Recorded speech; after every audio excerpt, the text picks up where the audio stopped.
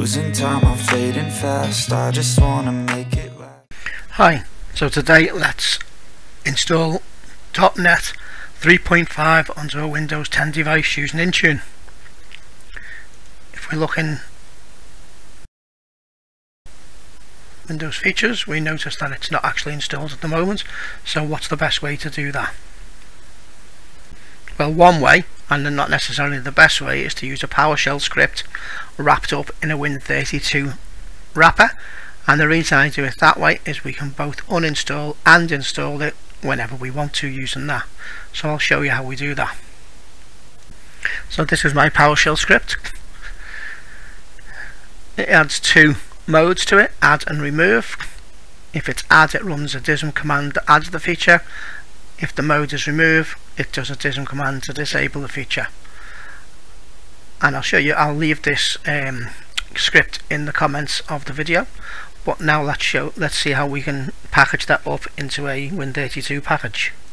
So we run our packaging tool and what we need to get from here is we need to have the path to our source files which in this case is just a script and we copy and paste that into here we need the name of our PowerShell script.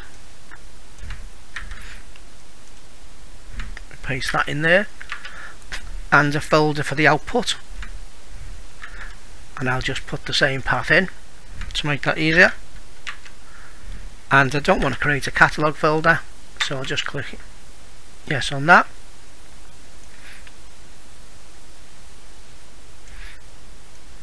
And then you will see it's created an intune.win file for me so next we need to import that into Intune.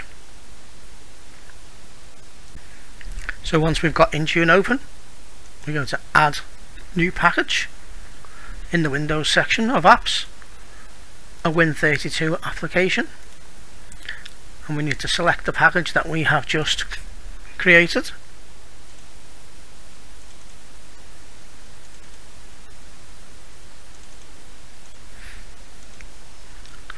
we'll use that one.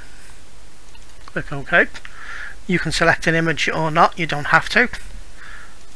And that's a process just going into wherever you keep your image files and choosing one that you've already downloaded. We give it a name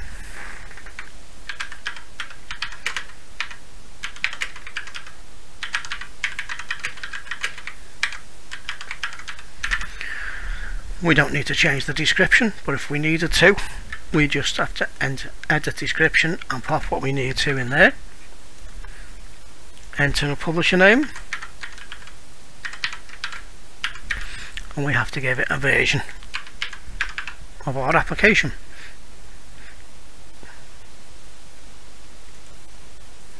Now our commands, we obviously have to turn off execution policy on the device with it being PowerShell.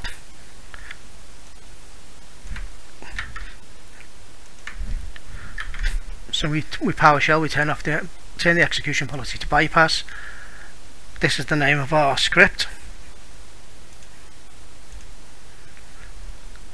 And we set the mode to add for install and remove for uninstall which is how I set up the script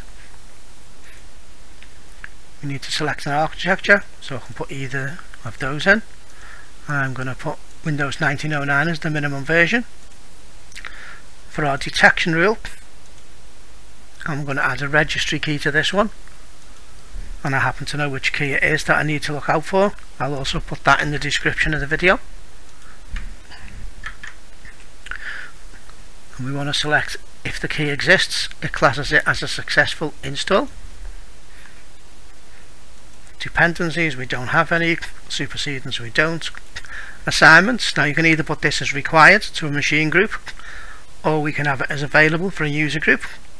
To demonstrate on this one I'm going to add it to the as an available to the users.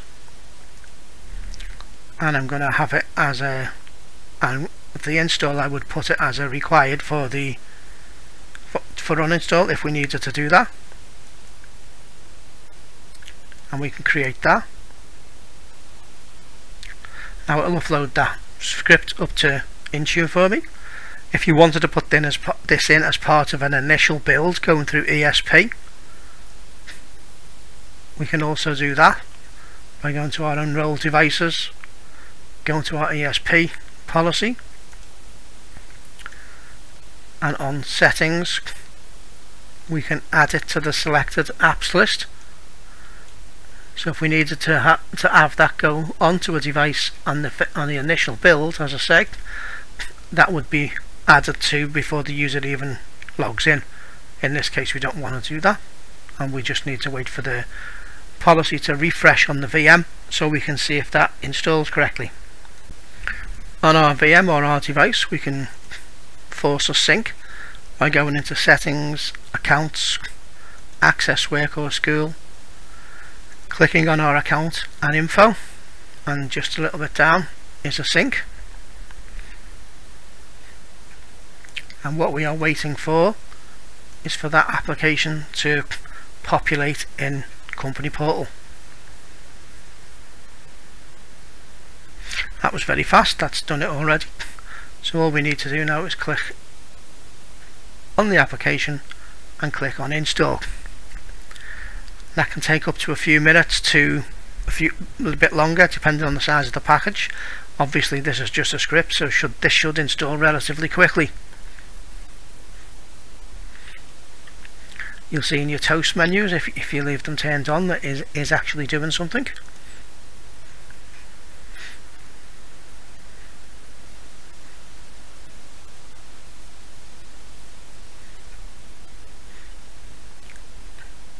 It'll be downloading the packages from the Microsoft site as this is an online installer rather than an offline installer.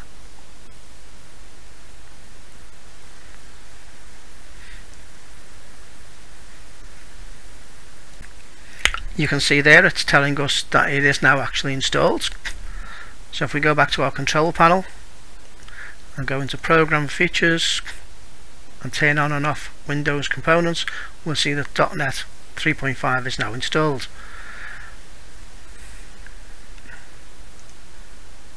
Now if we want to uninstall it we should go back to our Intune and in our assignments